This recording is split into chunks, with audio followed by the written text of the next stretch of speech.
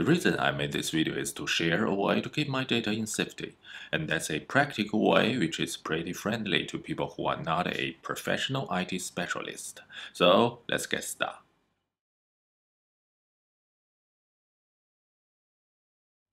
First, the hardwares I bought. Number one, a Raspberry Pi Model 4B as it's got full speed NIC and the USB 3 port, which is a huge improvement to its precedent, Model 3B. Number 2. 2 or 3 3.5 inch SATA hard disk drive and the external enclosures as in the late 2019 4 terabyte is the best affordable one for me. You can choose whatever you like, which you can afford. Number 3 the important accessories for Raspberry Pi, like a good fan for cooling your Raspberry Pi. Believe me, it's very important for this project. I will get to that later.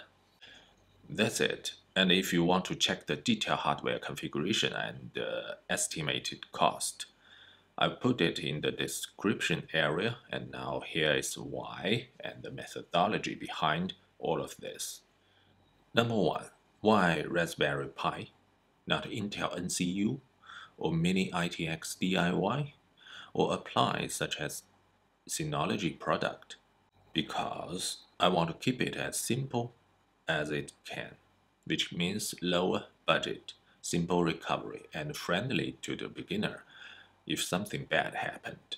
Number two, why the simple external hard drive?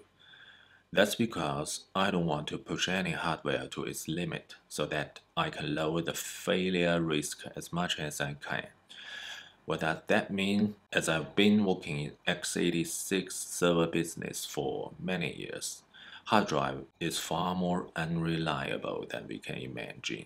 Even the SCSI or the later one SAS or nearline SAS, not to say the consumer level SATA hard disk, well, SSD step forward a lot, but it's way too pricey, which is off the topic for the time being.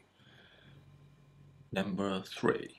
Why not RAID or RAID appliance like Synology NAS products?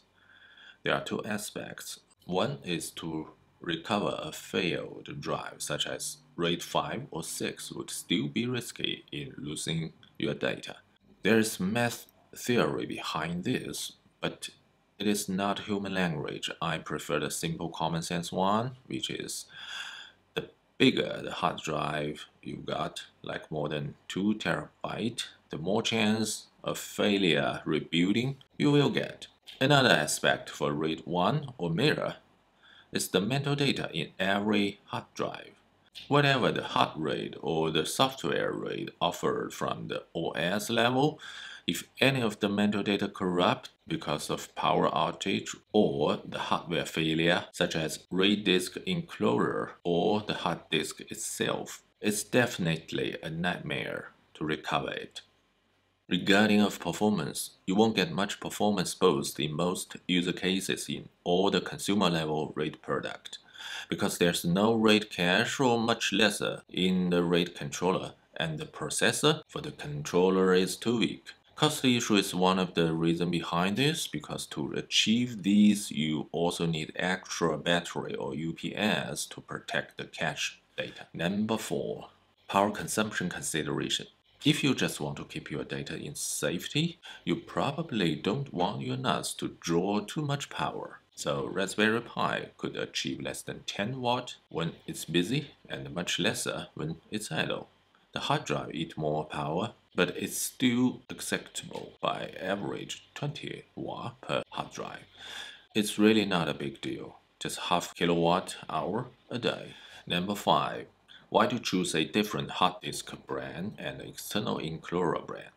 Because there are too many firmware bug, manufacturing defect, or design issues in the hardware which we will never know from the vendor. They won't tell you because many of the problems are internal confidential. For me, I chose Western Digital Red 4TB and Seagate IronWolf 4TB and two different external enclosures from Orico and Unitek. By the way, you must know Raspberry Pi cannot drive the massive external hard drive without extra power supply for the hard drive. Number 6. Using the official Raspbian operating system. I'm a huge fan of Red Hat and CentOS, but still I installed Raspbian OS because it could be the least buggy one. Number 7. Choose a good fan. If you want to put your server in the living room or anywhere near your normal life, spend more money on a quiet fan would save your ass. I dumped my $1 fan and bought a Noctua fan with $15 and it's amazing. It's worth the money. Believe me, the temperature 4B chip will raise high to average 65 C without fan cooling. Any fan would lower that to below 40 C.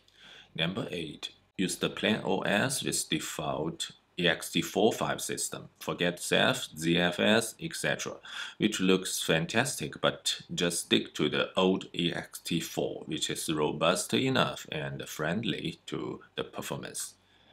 Number 9. Try to use wired network cable rather than wireless to the Raspberry Pi end. The reason is simple, it's faster and more stable. If you have to use wireless, well, it's fine. Actually, you won't lose too much performance in most NAS cases, but a good or pricey wireless router would be recommended to invest.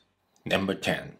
Use cron job to manually synchronize the two hard drive, maybe in midnight, because in most home user case scenario, that's just enough and it will save a lot of power.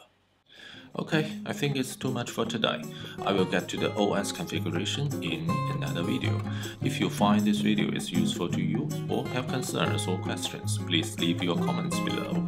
Thanks for watching. See you next time.